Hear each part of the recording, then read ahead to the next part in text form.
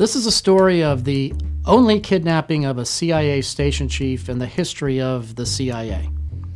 And he was abducted in the mid 1980s, and it was a case that I worked when I was a special agent with the State Department.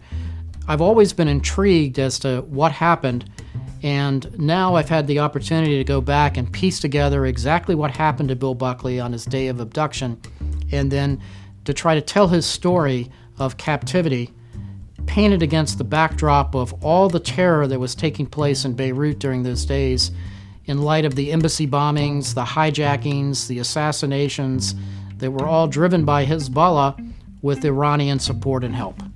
And this was an organization that was ruthless when it came to carrying out significant intelligence operations against Americans and Westerners inside of Beirut. Uh, they were very capable organization to carry out global terror.